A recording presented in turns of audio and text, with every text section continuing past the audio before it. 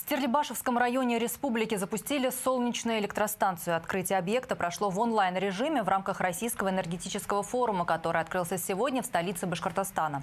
Мощность установки составит 25 мегаватт. Построила станцию китайская Solar Systems. Объем инвестиций в проект составил 3 миллиарда 400 миллионов рублей.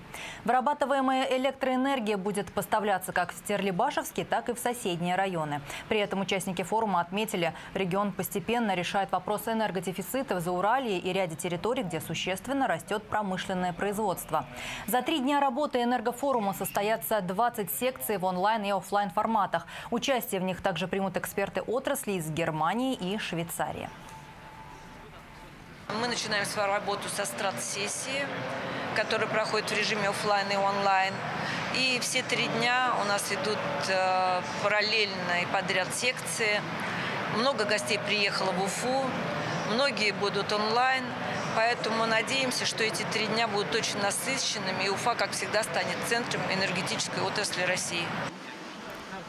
В рамках 26-й специализированной выставки «Энергетика Урала» на площадке ВДНХ «Экспо» пройдет инновационный салон «Промышленная светотехника Уфа», а также юбилейное мероприятие, посвященное 80-летию башкирской энергосистемы и столетию Государственной комиссии по электрификации России.